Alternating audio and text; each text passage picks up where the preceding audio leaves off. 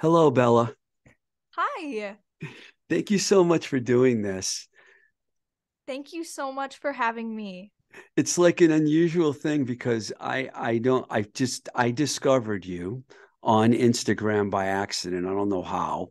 And then I was like, this girl can play and she's young. I didn't know how old you were and then I realized how old you were. How old are you exactly? I am 15. That's what I thought. 15. So why don't you tell me about your ch- early childhood and how and when you started listening to music because I'm fascinated about that.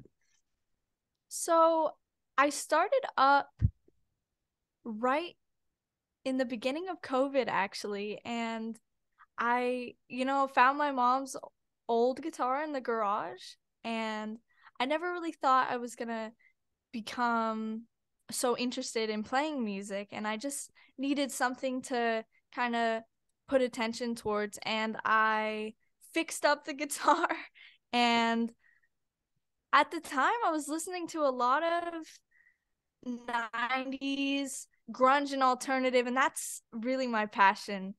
Um so I was learning a lot of you know Nirvana songs just to start off Okay, I'm a little, I'm a little, this is wild. So you're telling me you only been playing for three years?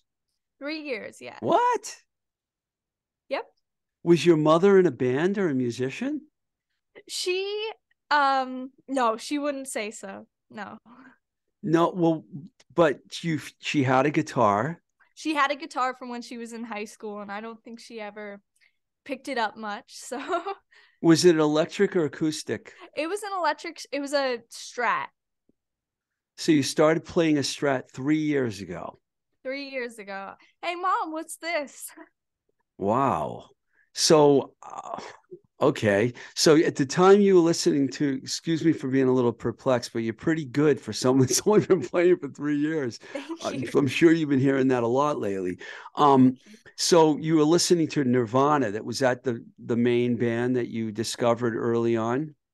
Yeah, I think it was just like a, oh, um, the, my parents had suggested some Nirvana songs, and I was like, oh, I really like this. And then um it kind of just kickstarted me from there.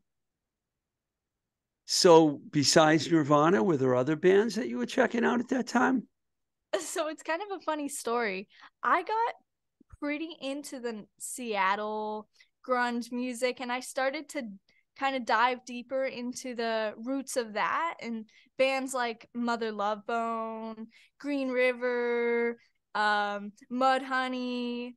So a lot of the early 90s bands. Okay, Love that Pearl Jam. okay, this is really fantastic. You know, I, I actually worked with Mother Love Bone many years ago on the Shine EP. I have an autographed Wow. uh, copy of it with Starman, Andrew Woods. It's one of my most prized possessions, actually. And you know, Mother Love Bone, you probably know the story. You know, Andrew died before their album even came out. It was the EP that we worked on when I was at Metal Blade Records, and um, I got to see them. And I and that's when I met Stone and Jeff because they came to my office at like eight thirty in the morning one day. And I and, and they said, and I was like, dude, I know you guys. You guys were in Green River, right? But no one knew Green. River. It's not like they were famous or anything. They were like an underground band, basically, you know. So I'm fascinated by that. And I'm going to talk to you about that in, in a minute. But um, so when you got your guitar and you started playing it, did you have all that? Did you have the gear? I mean, because you have a lot of gear. I um I had I had an acoustic guitar and I had I had just gotten this right before that. So I had an acoustic guitar and an acoustic guitar amp and I was running my strat through an acoustic guitar amp. And honestly, one of the first things that kind of turned me on to the rock and roll sound was I had a compression pedal and I would I would wait for the 9 volt battery to die and it would give this really crunchy distortion sound and I was like, ah, this is really cool. This is for me. This is my sound. So um I was like, "Dad, can we go to the guitar shop? We're going to get a distortion pedal and we're going to get some more stuff from there. So your parents were really supportive of you oh, playing. Oh yes. My parents have been so supportive and I'm so lucky to have such great support from them. I should have asked you this before, but where where are you in in uh, California? I am in Northern California. I'm in Mendocino. Oh, I love everything. Mendocino. It's right wine country, whales, surfing. I lived in LA for 14 years when I worked for labels, and I went to a wedding once on a cliff in Mendocino. Oh. So I love it there. Beautiful place. We're um, right on the water. Yeah, exactly. Um, so do you remember some of the first songs that you played? Were they all Nirvana songs?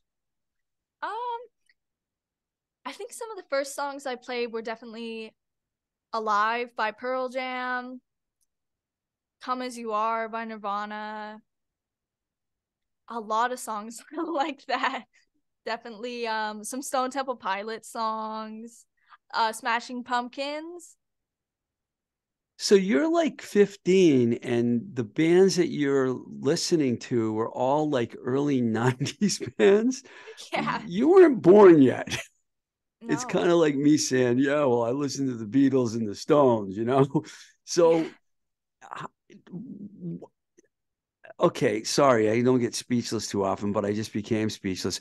Were you? Did you have friends or something, or who who was into the Seattle sound that got you into it? Because you would only this would have to have been around two thousand.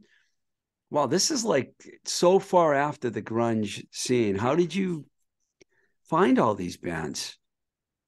I really just I really just started listening to the music and I was like trying to find the most different music and most different outlook on starting up a music project. And I really just wanted to have that different I was like this is really different. And it really stood out to me.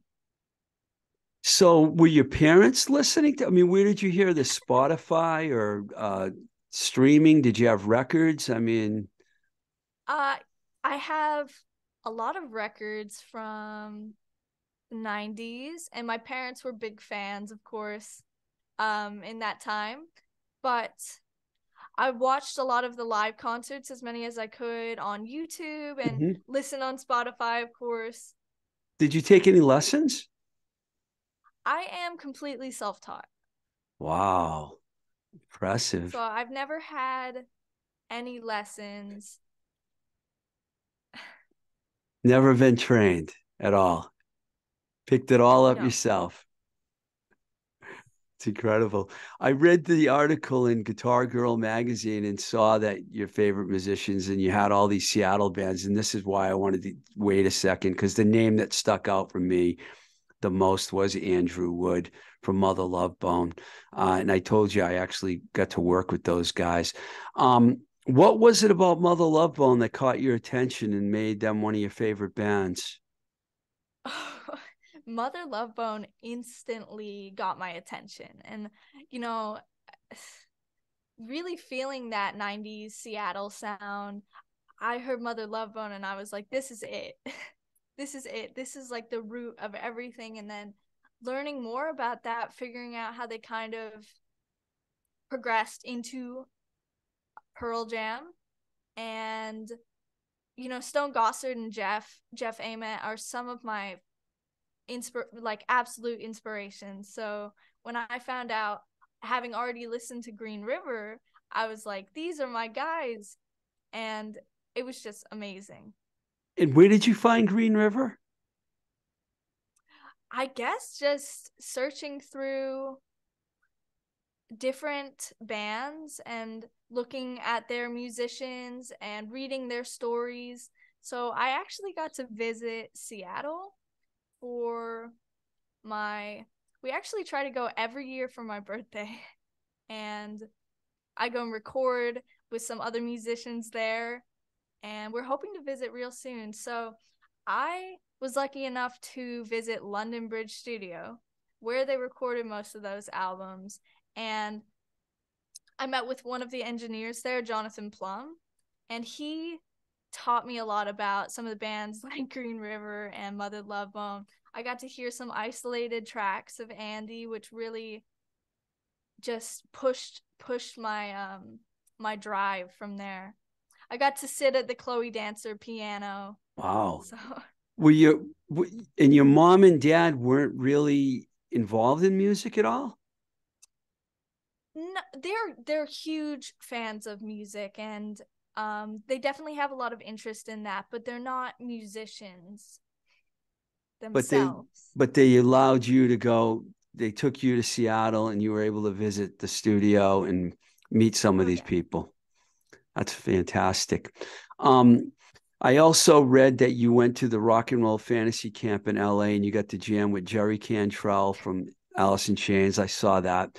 Kim from Soundgarden. I, I worked at A&M Records too, so I worked with Soundgarden too. This is why your story's so interesting to me because I was when I was at A&M Records, we put Temple of the Dog out, so I was like right in the uh-huh. middle of the whole thing, you know. And Dave Krusen, who was the original drummer, or the second drummer, but he, he played on the 10 records. So that makes him like, you know, automatic rock and roll Hall of Fame. Um, that's some pretty heavy company. Uh, you got to play with those guys. What what was that like? And how did, did they let everyone play with them, or did they pick out certain people at the camp? So I got the opportunity to attend that camp, and I got together with a group of other young musicians and we started practicing in this camp for a band and I honestly had no idea what I was getting into and this was really my first time getting to play with another band and with new people and getting to play live. So it was a really really fantastic experience, but I had no idea. Did did they put different stu did it different campers together and form bands? Is that how it worked? Yes.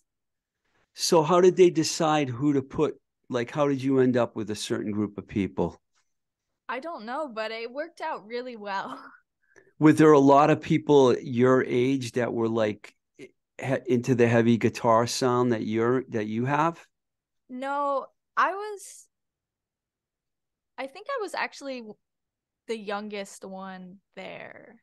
Really? Yeah.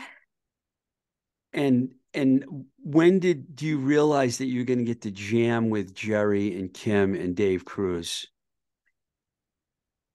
Jerry was um a big part of it. We got there and we had been rehearsing and I think the third day was Jerry Day. Jerry Day. Jerry Day. It was like, um and we got up that morning and I was like, I don't know how I'm gonna I don't know how I'm gonna stand up there with Jerry Cantrell. I think this is a good time for me to hit you with something I didn't tell you I'd hit you with. Okay, so you've got Alice in Chains, Soundgarden, Nirvana, and Pearl Jam.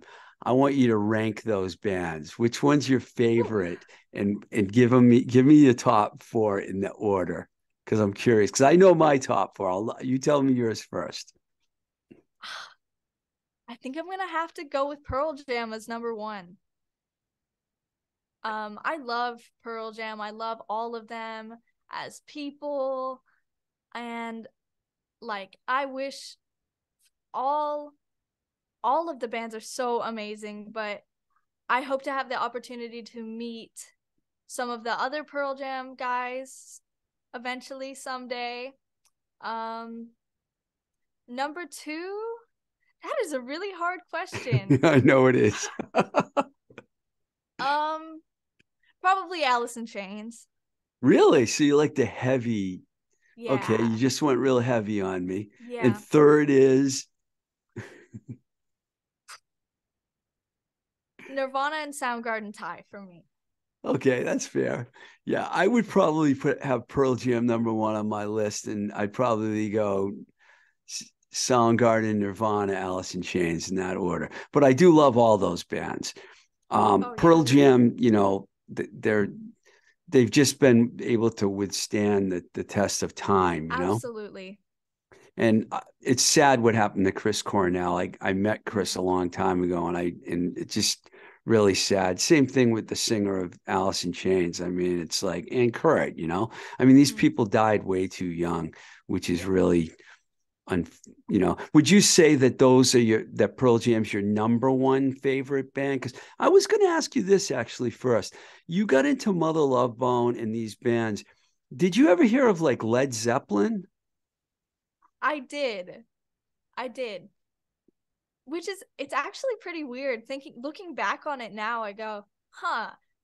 I never started off playing the classic rock guitar and Jimmy Page and I did I did and do love Pink Floyd. David Gilmour is a huge inspiration, Mm. so Did you notice that the Seattle bands may have been influenced a little bit by Zeppelin and bands like that when you heard their music? Yes, and I'm just now really realizing that and going through people like Mike McCready's um influences and he talks a lot about how his influencers are David Gilmour and Jimmy Page and a lot of others, so Did you know who Jeff Beck was?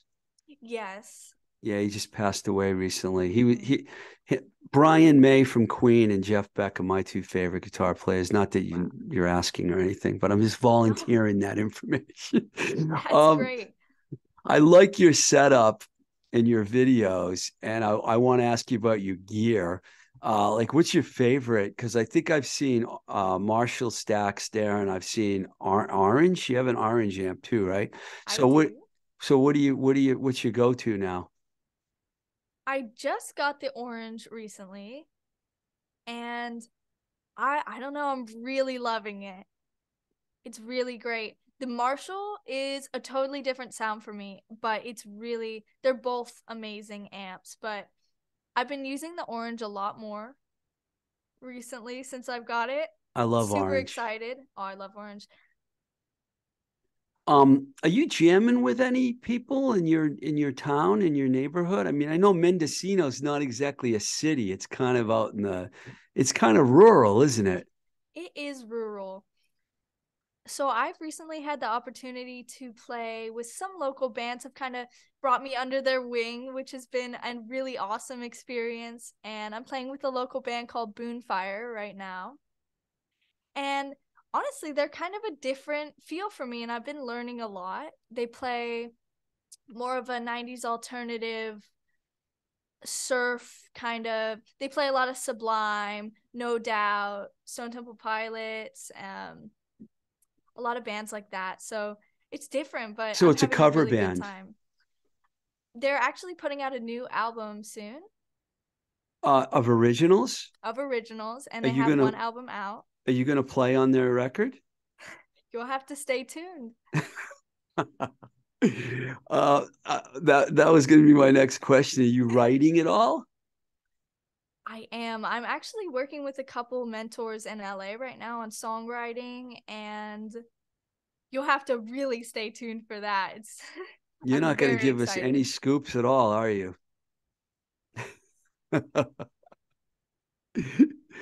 so, so you're did do you, have you tried writing a song on your own, or are you just working with other songwriters? uh, I have tried writing a song on my own, and I'm actually working on one right now. Believe it or not. Cool. And are you gonna are you gonna do? Are you writing on your electric? or Are you writing acoustic? the intro's acoustic, and then it goes into kind of a heavier, like it goes into a heavier part. No, I haven't heard you sing. Do you sing also, or are you just predominantly a guitar player?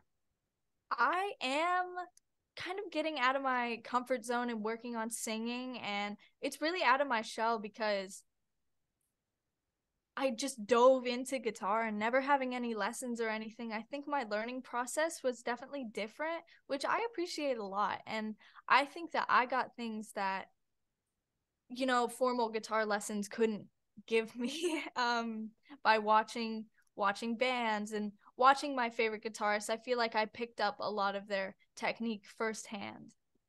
Now, are you are you do you go? Are you in high school right now? You are, right? I am. I am in an online school right now. Oh, cool. So, um, do you have friends that share similar tastes as far as your music go, or you find yourself out in an island kind of in a way? I try to get some of my friends to listen to my friends are very supportive of me playing music and they come and see me play a lot, but we're we're pretty different as far as music goes. I can but I mean you can't blame them. My taste is a little bit old school. Yeah, I'd say. I'd say. Um, I was going to ask you one more thing. Uh, is there any new music that's coming out these days that you're into, or are you just caught in that the '90s grunge?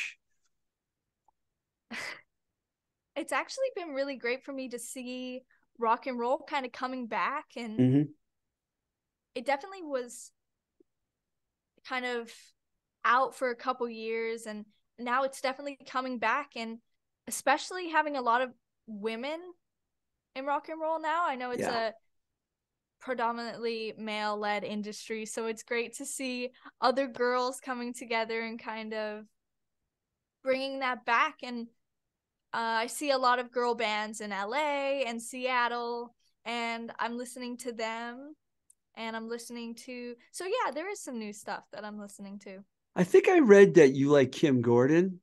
i do like kim gordon So Sonic Youth is a lot different than than the Seattle bands. So you don't mind going a little more edgier and indie rock direction? Oh, absolutely not. No. Love Sonic Youth. Love love all of those bands. Cool. So um you were kind of secretive about what you're going to be doing, whether you're going to be playing on a record or not. So um basically your Instagram page, is that where people are going to find out all the news on Bella Rayne?